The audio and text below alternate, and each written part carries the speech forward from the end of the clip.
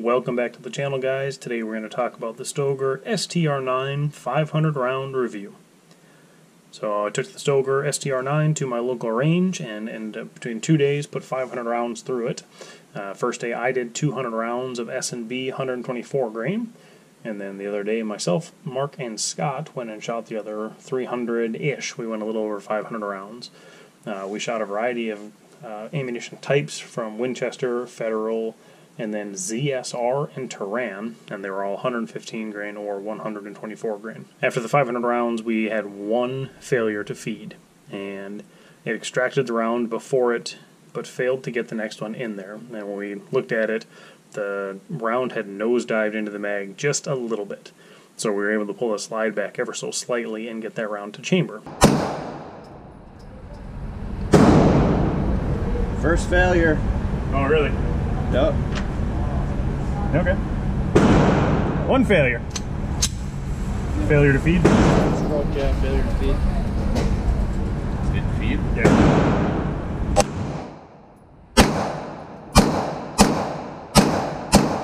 Could have been a combination of either a slightly weaker round ahead of it, or user error, or maybe just the gun for some reason. But 500 rounds, one failure to feed, and other than that, like I said, it's flawless. Initial thoughts when I opened the box on it was I liked kind of the fit and the features of it, and after you know putting 500 rounds through it, the three of us agreed that it's a pretty solid pistol. Ergonomics are good. I like the serrations on the slide, for example. I like the texturing on the grip. You could maybe add a little bit up here, but really that's kind of nitpicky. Uh, the texturing is good, the grip is good, the trigger is nice. All of us agreed with that. Uh, it's better than a stock Glock trigger. I would say that for sure. Maybe that's not saying much, but it's it's a it's a good feeling trigger. Maybe a little mushy in the front end, but when you hit the wall and the brake is really nice. When I got home, I used my Wheeler Tools trigger pull gauge on it and found it to be between five and five and a half pounds. And the reset is really nice. I was able to double tap quite a bit with it comfortably and easily.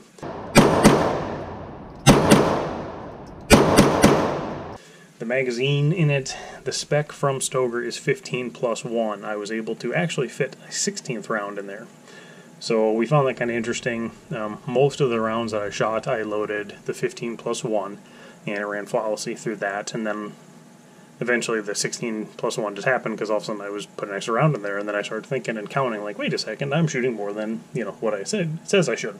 It is capable of doing 16 plus 1. I probably wouldn't recommend it just because you might be putting some extra strain on that magazine spring, but the 15 plus 1 ran flawlessly, like except for that one nosedive round. But uh, the kind of shortcomings to this gun is the aftermarket world for it.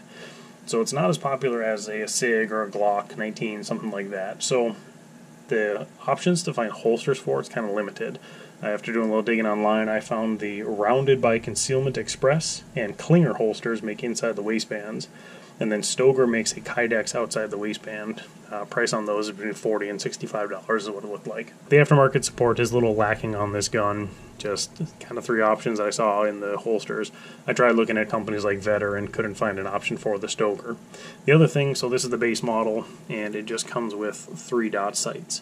You can get aftermarket sights for, or not aftermarket, you can get night sights for it from Stoeger and I found those on Midwest Gun Works, and the front sight was like 50 bucks, the rear sight was 70. So you could add, you know, 120 bucks onto it if you really wanted to have the night sights. But Trijicon doesn't make any for it. I didn't see any other companies that had upgraded sights for it, so that's kind of disappointing there. But like I said, it's not a Glock 19, it's not a SIG, it's kind of unique in its own right, so less aftermarket support is going to be expected on it. The other interesting thing on it is it does have the rail up front, and in this case I have a Streamlight TLR1. And it fits just like it should, and tightens down, and everything like it should. I did not shoot with this on there, but I wanted to just test it out and see. What I noticed on it is the lever is a little stiff. And the reason for that is the front of the trigger guard has a little nub that sticks out. So that little guy there makes contact with the lever on the Streamlight. So if you really had, if you want to use one with the TLR1, you'd have to probably shave that down just a little bit to make that easier to function. It functions fine. It's not a terrible thing that it's a little tight, but it also it's going to wear on the trigger guard. It's going to wear on the switch on the flashlight itself. So I don't have other streamlights or anything else to check on. Unfortunately, I just have the TLR one. I got a couple of those laying around. So that's my best example of it. And like I said, a little tight. For comparison's sake, drop the you that it's clear. Drop the trigger. For comparison's sake, this is my Gen 4 Glock 19. And when you put them back to back, you can see the Stoeger is ever so slightly longer. But the real difference that I noticed, get them lined up there. We'll do it this way so you can see it. What I really noticed though is the little bit of a grip difference. It's probably closer to like a Glock 17 grip length, but very comparable in size. So I think you'd have a fine time concealing it, but you are going to struggle. Not struggle, but you will have a little extra hanging out with this bigger, longer grip on it, more like a Glock 17. Um, so take it apart here real quick for you to see. Oops. And I did clean this up just a little bit before the review, that way we can see the wear points and that kind of stuff. When I, before I took it to the range, I did go through and lube the contact points and the grip here, and everything seems to be wearing normal. Nothing egregious, nothing that I would, you know, want to call the manufacturer on and get it done. That seems fine there. The only thing I did notice is on the recoil spring, and it's got a little bit of wear around the edges. And I don't know if that's normal for this. I don't feel like I've seen this on other pistols of mine, so that's something I'm going to keep an eye on as I go forward and shoot it. And then the barrel itself, just normal wear and tear. So, nothing to write home about, nothing egregious that I see on it. It looks to be wearing just fine.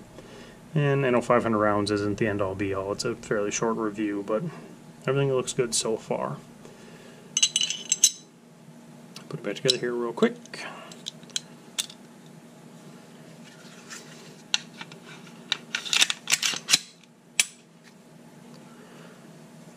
We kind of talked about the shortcomings of it, more or less aftermarket support, and finding holsters is going to be your issue with this gun. But for the price being sub $300, and I just checked a little bit ago, places like Cabela still have this on sale for around $275, and there is still a rebate if you purchase one of these guns until the end of July of 2022, and then there's a mail-in rebate for $25. So you could get this gun for close to you know 275 out the door after the rebate or maybe 250 i found this on gun prime and i got it shipped for 218.99 so deals are out there. There may be even more deals coming up on it. We had three different shooters through the 500 rounds to try it out and everybody seemed to be really impressed with it. I myself probably put the most rounds through it but i noticed that i grouped fairly well when I went slow, and I'll show a picture of that of a I think it was a seven yard group that I did, and I shot mostly between seven and ten yards just to kind of see what I can do at that range. Um, I had three floaters kind of outside the bullseye, and that's on me more than the gun. In all honesty, I'm a okay pistol shooter, and it's something I need to improve on. I don't know a lot about the Stoeger pistols much. I don't know if this is kind of new in their world or I think they've had a couple before, this line has a subcompact and a compact and then this full size and they've got some other options as well. Looks like something with optics ready and that kind of stuff. And those are going to get more expensive. The STR9 like this one the compact and the subcompact are all $275 so there's options out there. Like i said you're going to struggle to find a holster for it but if it's home defense gun or range toy even a carry gun if you get the right holster i think it'd be just fine for you. I really enjoyed shooting it. It's a pleasant experience. Like I said, everybody was very impressed with it. Didn't have a lot of high expectations just because I didn't know a lot about the company or about the pistols before that. Final thoughts on the Stoeger STR9. It's solid. We liked it. We all enjoyed it. Trigger was nice. Ergonomics are good. I like the slide serrations on the front. I like them on the back. It's a pretty well loaded pistol for the price. So if you're looking around to get one, especially with that rebate going on right now, I wouldn't hesitate to pick one up. 500 rounds. We're good to go so far. We'll keep it around and shoot more, and if something happens in the future, we'll for sure let you know. But thank you so much for watching. Like, share, subscribe, and we'll see you on the next video.